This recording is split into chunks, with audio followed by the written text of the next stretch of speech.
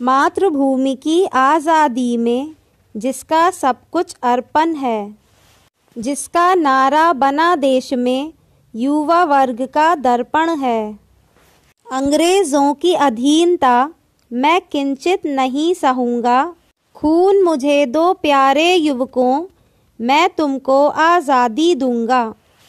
मेरे भारत के जाबाजों, बढ़कर लाल किला ले लो।